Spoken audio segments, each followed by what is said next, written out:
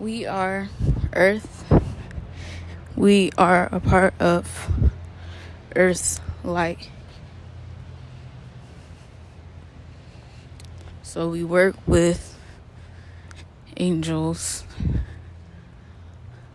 God, Source, Creator to help us navigate this plane.